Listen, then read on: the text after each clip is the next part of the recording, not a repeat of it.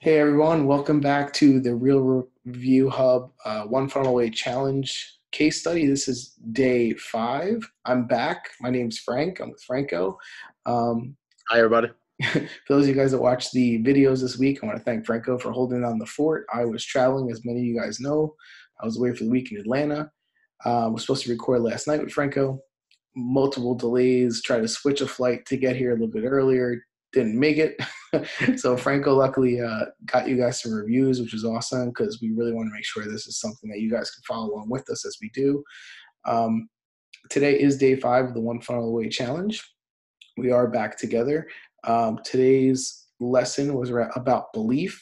So uh, let me uh, kick it off to Franco. We'll kind of go over kind of what Russell's uh, lesson was about, and then uh, we'll take it from there. Hey everyone! Again, I'm excited to uh, show you know show us day five. What's going on? I'm happy to have Frank Bank. Like I was telling you guys, totally stressed out all week long, being the newbie, trying to figure all this out myself. Um, but continuing on with Russell talked about in the last video, um, he had a quick little intro video, about two or three minutes long, where he basically continued to talk about to help increase our beliefs. Right? Basically, if you believe in the system, the system will work. And if you don't put your effort into it and you're saying it's not going to work, most likely it's not going to work, right? So you kind of have to jump in all in, both feet. Um, and then he talked about later on uh, also purchasing some other programs if you were interested. Um, during his uh, Lady Boss presentation, we'll talk about it. And uh, Frank will talk about the uh, coaching call. Yeah, so you know, first thing, guys, I want to say is this week, um, you know, obviously they call it the pre-work, right? It's all around mindset and belief, which is really ironic because, Frank, I don't even think I told you this, but um, I was away, obviously, at a meeting, training. Um, I. I did a bunch of workshops, and one of the workshops that we spent a couple, well, about four or five hours on was a mindset workshop, and it's um, wow. And uh, so it's pretty ironic, and it really is important. And you know, in, our, in my workshop, we talked a lot about, um, you know, if you want to change behavior, you know, you have to change uh, it's three things that equal behavior, right? Attitude, beliefs, and um, uh, attitude, uh, beliefs, and values, right? If you want to change someone's behavior, so those all equal to people's behaviors, which is pretty funny.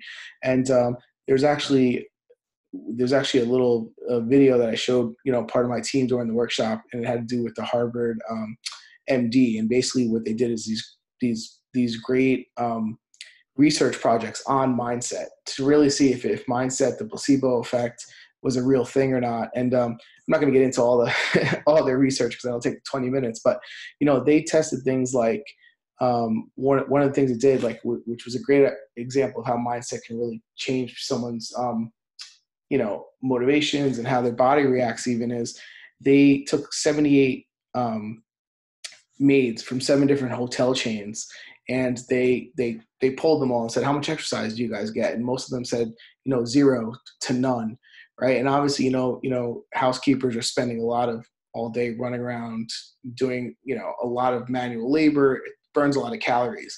So their their theory was okay if we show half of them uh, a 15 minute video that just kind of talks about you know how many calories you burn with a half hour of vacuuming and all this other stuff and they took all their a lot of vitals their their a lot of blood markers, just kind of see stress levels and, and hormones and all this other stuff before. And then they came back and took both groups again at the end. And it was remarkable. Um, the different markers came back considerably lower for everything from body mass index to stress levels to uh, you know enjoyment of, of work for the half that had seen the the results right? that they were to expect just from their normal jobs, right? So it just, and there's tons of research they're doing around in this area where if you expect the results, you can, you'll literally, you know, get them. So this was really ironic. I didn't do a great job of explaining that, but um, I would definitely check it out. It's, uh, it's a team from Harvard and Yale doing a lot of research. But anyway, not not to digress, but it kind of I thought it was really funny as as these two things were kind of going in parallel. Um, but to move on to, to, the coaching call by Steven, right? So, so obviously this is pre-work. It's a lot of mindset stuff. Um, but he did talk about some actual, I think, tangible stuff here that's good to really remember.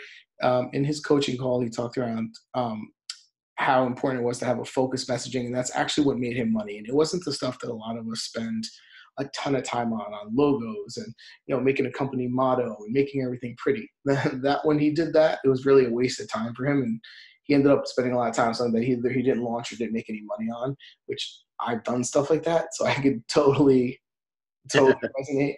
Um, he also talked about the difference between marketing, sales, you know, and closing, right? And he he kind of defined marketing as the act of changing beliefs um, with the intent of getting a sale, whereas sales is just presenting an offer to and overcoming objections, and then closing, he presented as you know the logical reasons why you should act now, right? Um, which was a really simple way to kind of break it down, and I thought it was really helpful. You know, if you kind of think of it that way, like what is marketing? Marketing is me building that story as to how I'm going to change beliefs so people act and that action should resonate in a sale, right? Sure, the outcome should be a sale. So um, I think that was a, really good video that he put out. It was like 25 minutes long, but it was it was probably one of the most valuable videos so far that I think I've seen. Um, and then it was cool. He kind of talked about a little bit of psychology of, of, of buying, right?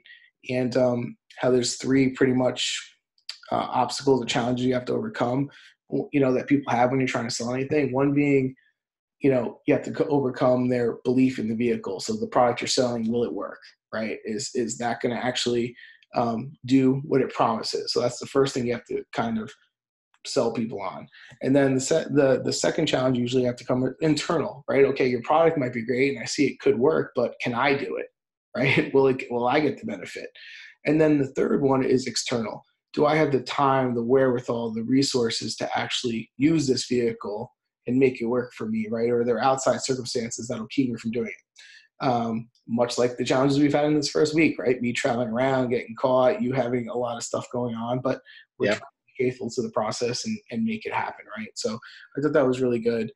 Um, I'll stop there, I guess. Franco, you think I missed anything on that? If not, we'll kick it off and you can kind of go over the Lady Boss presentation. No, I think you hit, you hit the nail on the head, you know, going over everything. I, I thought it was really, uh, it was a great little, you know, 20, 30 minute video that Steve Larsen had, and uh, was one of his better ones that I, I thought.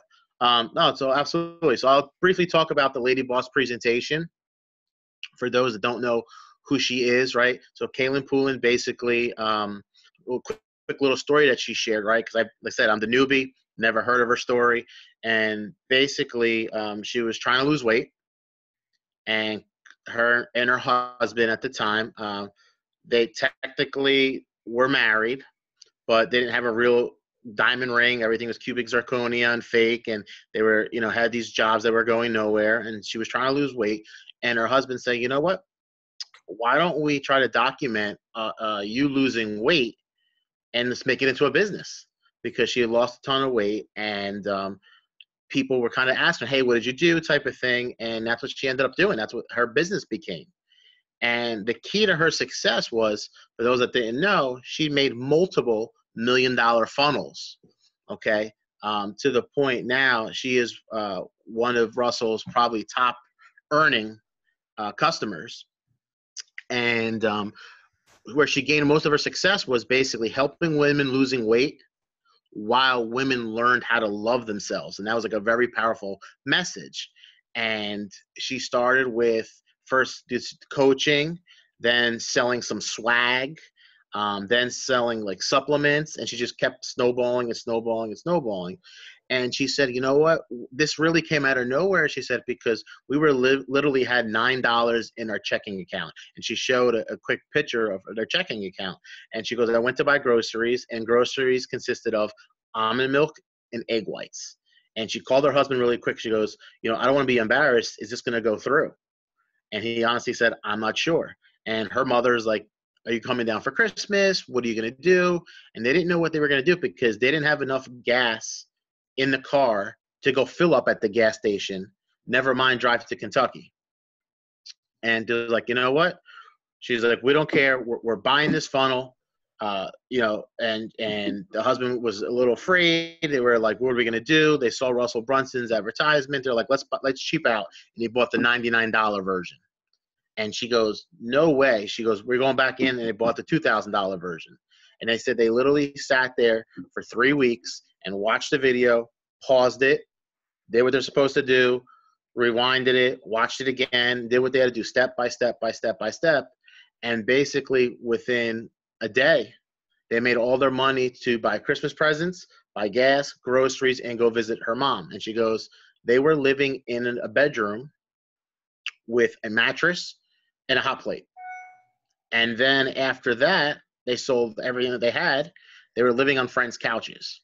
So she basically went from poverty to super rich. And she goes, and all they did was follow the steps. And kind of this is what this case study was about. What Frank and I had said from day one was about just really seeing step by step what's going to happen, right? So that's basically what the Lady Boss presentation was about.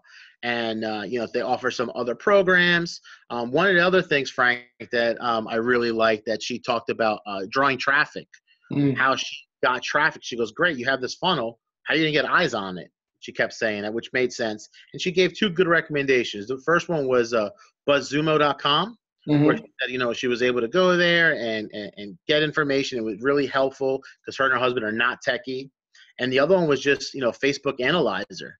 She was just seeing what's trending out there and, and what advertisements are, are what they look like and kind of just basically referencing them as your ammunition to make your funnel. You know what I mean? And that's she goes. You didn't have to spend a ton of money. She goes. They had really zero money. Any editing they did was everything from their cell phones. So I thought that was pretty cool. So they're really bootstrapped to their whole process. You know.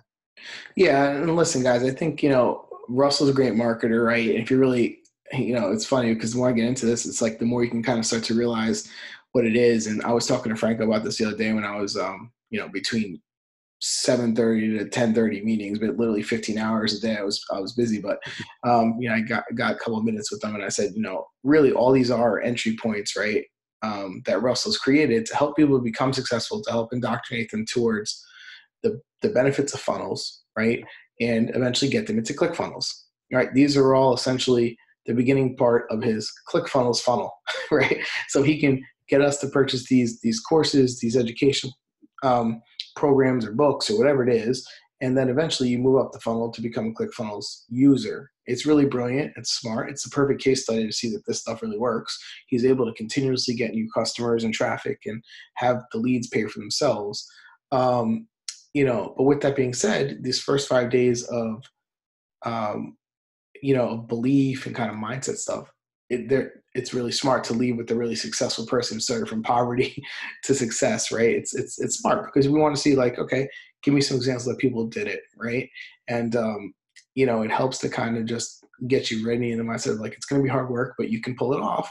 You got to put a lot of things in place, uh, but the funnel could be a great vehicle to make it happen, right? And we talk about those three psychology, right? The vehicle, and I feel like you know the first couple of videos were about the internal, external right? Psychology of, mm-hmm. okay, can you do it? Do you have time? And then, but importantly to Russell is that we all understand the vehicle of funnels, and and then it makes sense to use ClickFunnels as that software vehicle to create the funnels, right? So, um, I still have no problem with it because it's nice to see it actually being implemented and used because he's doing well. He's at a hundred million dollar company, right? And and the software is really awesome. So know, I have no problem with that. And and the and the education is good. So um, I just thought it was funny going back and looking at it. But hey, guys, that's all we got today. I think um, I think Actually, tomorrow, Frank, real quick, do you yeah. want to just show them the uh, worksheet for today, the homework that we did? Yeah, I can pull that up here um, if I can find it.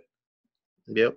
Um, just like we've been saying, guys, you know, we're just showing you the digital copy. You know, Frank and I both have the uh, workbook at home, and that we're um, you know, doing it. Um, basically, it, it's pretty much everything we've been doing. You know, it's only very minimal. It's a couple of questions, just a checklist, real quick. You, you know. know. Yep, there you go. Just mission five. Lady Boss did it, so so you can you. And then uh, just scrolling down, just basically, like I said, our checklist for today was watch Russell's video and the Lady Boss presentation, fill out the worksheet, um, and then basically uh, just uh, post that basically hashtag mission complete to our forum.